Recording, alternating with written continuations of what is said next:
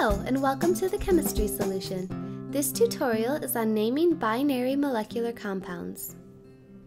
And binary molecular compounds means molecular compounds that are composed of two elements. Most molecular formulas cannot be predicted the way that formulas for ionic compounds can be. And so here are our rules for naming molecular compounds. Prefixes are used to indicate the number of atoms of each element in the compound.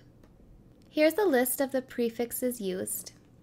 Most of these are common prefixes, but some may require some memorization. The other rules for naming are that the prefix mono is never used with the first element in the compound. So if your first element in the compound is just a single atom of that element, we would not use the prefix mono. But if the second atom in the compound was a single atom of an element, then you would use the prefix mono.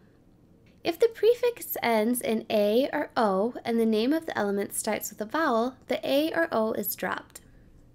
And the ending of the second element in the compound is given the ending IDE, I-D-E. Let's look at some examples and we'll name the following compounds. P4 means tetraphosphorus. S10 means deca, and then we change the ending of the element name to ide. So P4S10 is tetraphosphorus decasulfide. This would be a great place to pause this tutorial and practice naming these compounds on your own. N2 means dinitrogen, and O5 becomes pentoxide. Remember the prefix for 5 is penta, but because the name of the element starts with a vowel, we drop the A.